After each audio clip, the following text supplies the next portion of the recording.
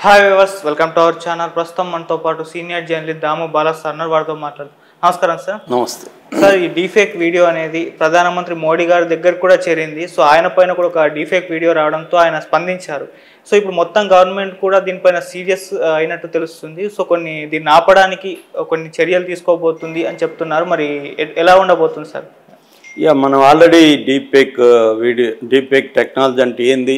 ఆ, ఇవన్నీ చెప్పుకున్నాం. ఒక మన దాంట్లో బేసిక్గా మళ్ళీ దాన్ని చూడని వాళ్ళకి బ్రీఫ్గా ఏంటంటే డీపేక్ వీడియో టెక్నాలజీ అంటే ఏంటంటే ఆర్టిఫిషియల్ ఇంటెలిజెన్స్ ద్వారా దాన్ని డీప్ లెర్నింగ్ మిషన్ లెర్నింగ్ అంటారు.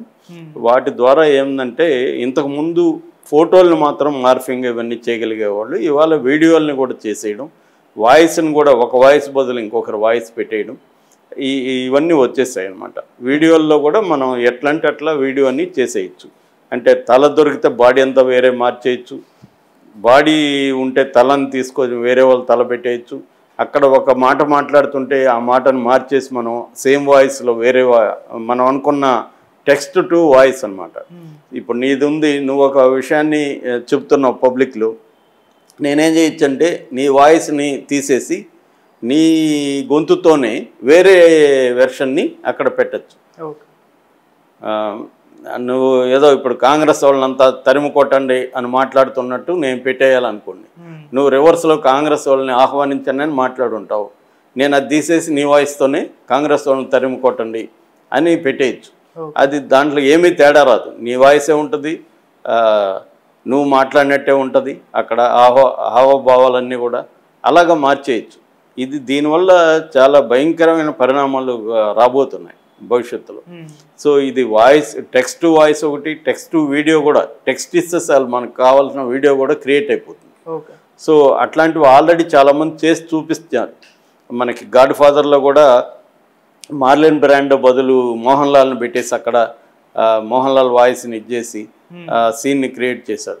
అట్లాగే అదే గాడ్ ఫాదర్లో ఇంకొక సీన్లో మమ్ముట్టిని పెట్టి చూశారు. చాలా వండర్ఫుల్గా వచ్చింది. అంటే రేపు పొద్దున ఏమంటే ఇప్పుడు మన సీనియర్ ఎన్టీఆర్తో సినిమా కూడా చేయొచ్చు కంప్లీట్గా. ఆయన వాయిస్ ఆయన రూపంతో డీపేక్ టెక్నాలజీ ద్వారా. అంటే దీంట్లో పాజిటివ్ వ్యవహారాలు ఉన్నాయి నెగిటివ్ ఉన్నాయి. అయితే ఈ నెగిటివ్ ఎఫెక్ట్స్కి కట్ చేయడానికి ఆల్రెడీ యూరోపియన్ యూనియన్ కానీ చైనా కానీ అమెరికా కానీ ఇలాంటి దేశాలు కొన్ని చట్టాలు తెచ్చాయి కొత్తవి. అందులో ఒకటి ఏంటంటే ఈ డీపేక్ టెక్నాలజీకి సంబంధించిన క్లౌడ్ ప్లాట్ఫామ్స్ ఇవన్నీ కూడా సపరేట్ సాఫ్ట్వేర్ ఏమి ఉండదు. క్లౌడ్లోనే ఉంటుంది. ఈ క్లౌడ్ ప్లాట్ఫామ్స్ అన్నీ కూడా మెటా డేటాలో ఎవరు ఈ వీడియో చేశారు ఆ ఐపీ అడ్రస్ అవన్నీ కూడా ఉండాలి అనేది ఒక కంపల్సరీ చేశారు. అప్పుడు ఏమవుతుందంటే దాన్ని ఎవడు చేశారు ఆ ఐపీ అడ్రస్ ఏంటి ఇవన్నీ కూడా పట్టుకునే టెక్నాలజీ ఉంటుంది కాబట్టి ఒళ్ళు దగ్గర పెట్టుకుంటారు. ఇప్పుడు ఏంటంటే ఎందుకు సోషల్ మీడియాలో ఇలాంటివి చేస్తున్నారంటే అనానిమిటీ ఎవరు చేస్తున్నారు తెలియకుండా చేయగలగడం వల్లనే చేస్తున్నారు. మనకి బాధ్యత ఎప్పుడు వస్తుందంటే మనల్ని అందరూ చూస్తున్నారు. మనం ఏదన్నా ఒకటి చేస్తే అది రివర్స్ అయితే మనకి ఇబ్బంది అనే భయం ఉండడం వల్లే మనుషులు డిసిప్లిన్గా ప్రవర్తిస్తున్నారు తప్ప నేను ఎంతమందే చెప్పాను moral morals ethics and law ఉంటుంది ఎప్పుడైనా మనుషుల్ని కంట్రోల్ చేయడం సమాజంలో. ఈ మోరల్స్కి ఎథిక్స్ మోరల్స్ అంటే సమాజం విధించే నీతి సూత్రాలు ఎథిక్స్ అంటే తను తాను కంట్రోల్ చేసుకోవడానికి పెట్టుకునే నీతి సూత్రాలు. ఈ ఈ రెండు ఎవడు ఫాలో కావాలని రూల్ ఏం లేదు. కానీ లాని ఫాలో కావాలని రూల్ ఉంటుంది. లాని ఫాలో కాకపోతే నీకు శిక్షలు ఉంటాయి. అందుకని లాకు మాత్రమే భయపడతారు మనుషులు. మోరల్స్కి ఎథిక్స్కి మనుషులు భయపడరు. కాబట్టి లాస్ని రెగ్యులేట్ చేయాల్సిన అవసరం ఉంది. అది ఇప్పుడు ఇండియాలో ఈ ప్రాబ్లం స్టార్ట్ అయింది. ఇండియాలో ఫస్ట్ టైము ఆల్రెడీ ఎప్పటి నుంచి వస్తున్నాయి కానీ అవి నెగిటివ్ ఎఫెక్ట్తో రాలేదు కాబట్టి వాటిని గురించి ఎవరు పట్టించుకోలేదు. ఫస్ట్ టైము ఒక అమ్మాయి ఆ, బ్రిటిష్ ఆ, లో ఉండే ఇండియన్ అమ్మాయి అక్కడ లిఫ్ట్లో నుంచి బయటకు వస్తుంది. ఆ అమ్మాయి వీడియోని తీసుకొని ఆ తలని ఆ అమ్మాయి తలని తీసేసి రష్మిక మందన్నది పెట్టేశారు. అది మామూలు ఐకి చూసినప్పుడు ఏమాత్రం తేడా తెలియదు జాగ్రత్తగా స్లో మోషన్లో వేసుకొని తీస్తే ఆ- హెడ్ మారే ఇది కనబడుతుంది. కానీ అంత ఎవరు చూడరు కదా. సో మామూలు చూసినప్పుడు రష్మిక మందన్న ఇదేంది ఎంత ఎక్స్పోజ్ చేసుకుంటా ఉంది పబ్లిక్ ప్లేస్లో అనిపిస్తుంది అక్కడ. అది చూస్తే. అది అది కూడా ఓకే. కానీ ఇంకా రేపు పొద్దున ఏమవుతుంది ఒక న్యూట్గా ఉండే వీడియోలో రష్మిక కాకపోతే ఇంకొక యాక్టర్స్ ఎవరినైనా మనం మనకు నచ్చిన వాళ్ళని కూడా పెట్టేయచ్చు. పెట్టేసి సర్క్యులేట్ చేసాం అనుకో. ఫర్ ఎగ్జాంపుల్ ఇప్పుడు నాకు నాకు ఇంకొక అమ్మాయికి గొడవ అయింది ఆ అమ్మాయి నేను ఒక వీ న్యూడ్ వీడియోలో ఆ అమ్మాయి తల పెట్టేసి ఆ అమ్మాయి కాంటాక్ట్స్కి అందరికి పంపించాను అనుకో. అందరూ కూడా అమ్మాయిది అనుకుంటారు. అందరికీ తెలియదు కదా ఇది చేసి ఉంటారు. సో ఇదో ఒక ప్రాబ్లం ఉంది. అందువల్ల ఇప్పుడు ఏమైందంటే మోడీ ఇది ఫస్ట్ రష్మిక మందంతో స్టార్ట్ అయింది. తర్వాత కత్రినా కైఫ్ వీడియో చేశారు. తర్వాత కాజల్ బట్టలు మార్చుకుంటుండే వీడియో వచ్చింది. దాని తర్వాత సాక్షాత్ మోడీని ఒక సాంగ్ బాడీ డ్యాన్స్ చేస్తున్నట్టు పెట్టారు. సో దీనివల్ల ఏమవుతుందంటే నిజమే నమ్మే అవకాశాలు చాలామంది ఎందుకంటే ఇప్పటికీ సమాజం మన ఇండియన్ సమాజంలో ఎడ్యుకేషన్ అనేది చాలా తక్కువ ఉంటుంది. రియల్ ఎడ్యుకేషన్ అనేది ఫిఫ్టీ పర్సెంట్ కూడా లేదు. Hmm. So more than fifty percent illiterates ఉన్నప్పుడు ఈ వీడియోలు ఈ టెక్నాలజీ చేశారు ఇవన్నీ అనేది ఇంకా తెలియకపోయినప్పుడు నిజమే అనుకునే అవకాశం ఉంటుంది. Hmm. సో దానివల్ల ఇప్పుడు మోడీ మొన్న స్టేట్మెంట్ ఇచ్చాడు. మేము చాట్ జీపీటీ వాళ్ళకి చెప్పాము మీరు డీప్ ఈ ఫేక్ టెక్నాలజీలో బాధ్యత తీసుకోండి అని చెప్పాము అదని చెప్పారు. కానీ ఎవరికి అప్పీల్ చేస్తే జరగదు అది. సీరియస్గా లా చేయాలి. సో ఇప్పుడు ఐటీ మినిస్టర్ అశ్వని వైష్ణవ్ ఒక స్టేట్మెంట్ ఇచ్చాడు సీరియస్గా. అదేంటంటే ఇప్పటి వరకు ఏంటంటే సేఫ్ హార్బర్ కండిషన్స్ అని ఉన్నాయి నిబంధనలు ఉన్నాయి. సేఫ్ హార్బర్ అంటే అర్థమైందంటే ఒక ఫేస్బుక్ కానీ లేకపోతే ఇన్స్టాగ్రామ్ కానీ లేకపోతే ఎక్స్ కానీ ఇలాంటి సోషల్ ప్లాట్ఫామ్స్లో ఎవరైనా థర్డ్ ఇప్పుడు నేను ఒక పోస్ట్ పెట్టాను.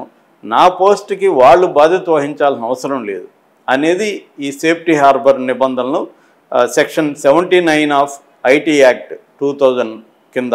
ఇది టూ థౌజండ్ ట్వంటీ వన్లో మళ్ళీ అమెండ్ అయింది. Hmm. టూ థౌజండ్ కింద సెవెంటీ నైన్ యాక్ట్ ప్రకారం సేఫ్టీ హార్బర్ నిబంధనలు వర్తిస్తాయన్నమాట.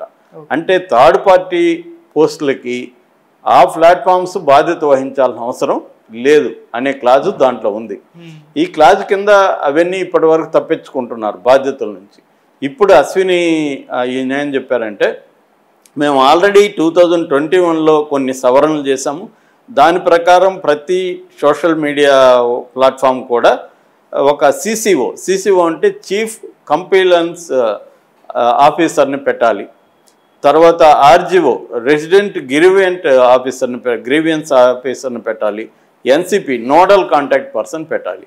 అంటే ఇటువంటి జరిగినప్పుడు అవి ఈ ఓవరాల్గా అది ఏమన్నా ఇబ్బంది కలిగించే విధంగా ఉందా సమాజానికి హాని చేసే విధంగా ఉందా ఇవన్నీ చూడడానికి ఈ ముగ్గురు ఆఫీసర్లని పెట్టి వాళ్ళకు టీమ్స్ని పెట్టాలి అన్న కండిషన్ పెట్టారు. కానీ ఇవి అమలు జరగట్లేదు అని అశ్విని వైష్ణవ్ ఇప్పుడు చెప్పారు. ఆయన ఏం చెప్తున్నారంటే మేము ఈ సేఫ్ హార్బర్ క్లాజ్ని తీసేస్తాము. అప్పుడు మీకు ఇంకా మీరు కూడా బాధ్యత వహించాల్సి ఉంటుంది అని తీవ్రంగా హెచ్చరించాడు. సోషల్ మీడియా ప్రతినిధులతో సమావేశం కూడా జరగబోతున్న త్వరలో. నాకు తెలిసి ఏంటంటే ఇది ఒక్కటే సరిపోదు.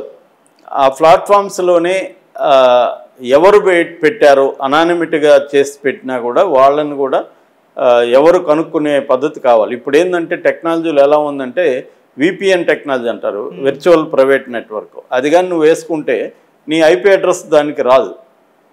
ఐపీ అడ్రస్ ఏ రష్యానో ఏ సింగపూరో చూపిస్తుంది. లేదంటే ఇంకొన్ని ఇది ఉంది దాని ఏమంటారు అంటే డార్క్ వెబ్ అంటారు. డార్క్ వెబ్ అంటే ఫర్ ఎగ్జాంపుల్ ఆనియన్ లేదా టవర్ అనే ఒక బ్రౌజర్ ఉంటుంది. ఆ బ్రౌజర్లో కానీ మనం వెళ్ళి ఏం చేసినా కూడా దేంట్లో అప్లోడ్లు చేసి ఏం చేసినా కూడా మన ఐపీ అడ్రస్లు కానీ మనది కానీ ట్రేస్ కావన్నమాట. ట్రాక్ చేయడం కష్టం.